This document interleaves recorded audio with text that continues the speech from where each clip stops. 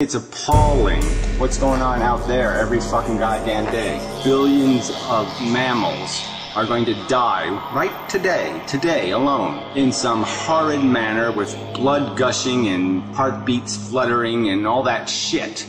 I don't think that's appalling enough. And I haven't even gotten to like World War One.